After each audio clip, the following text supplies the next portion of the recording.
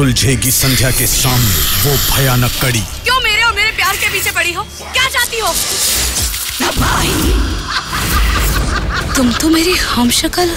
जुड़वा बहन हो तुम्हारी और तुम्हें बर्बाद करने आई हूँ। कैसे बनेगी संध्या अपने प्यार के लिए कवच?